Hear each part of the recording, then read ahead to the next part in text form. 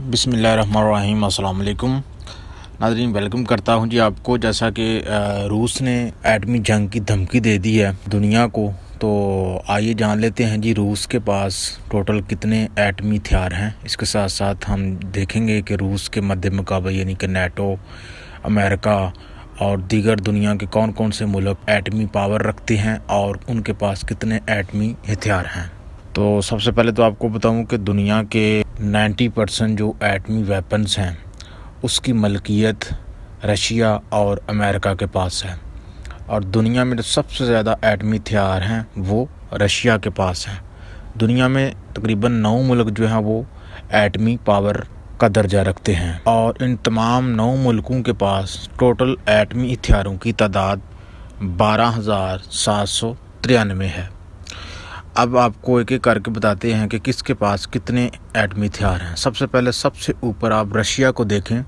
Russia जो कि जिसके पास सबसे ज़्यादा एटमी हथियार हैं, उसके पास टोटल एटमी हथियारों की जो तादाद है, वो है छः हज़ार दो सौ सतावन उसके बाद अमेरिका है। उसके पास जो एटमी हथियारों की तादाद है, वो पाँच हज़ार पाँच सौ पचास है। उसके बाद नादरीन चाइना है। चाइना का तीसरा नंबर है। और इसके पास एटमी हथियारों की तादाद 350 है। चौथे नंबर पे नादरीन यूके है।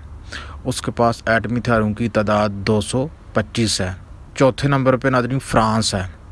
फ्रांस के पास एटमी हथियारों की तादाद 290 है। पाँचवें नंबर पर यूके है।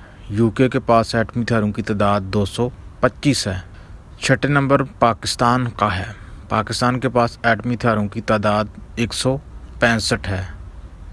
सातवां नंबर, इंडिया का है। इंडिया के पास एटमी हथियारों की तादाद एक सौ छप्पन है और आठवां नंबर इसराइल का है, जिसके पास एटमी हथियारों की तादाद नाइन्टी है और नावा मुल्क नॉर्थ कोरिया है, जिसके पास एटमी हथियारों की तादाद चालीस से पचास है। तो नाजरीन, ये वीडियो थी। अगर वीडियो अच्छी लगी तो लाजमी लाइक करें, फीडबैक का इजहार करें, चैनल को सब्सक्राइब करें। खुदा हाफिज़।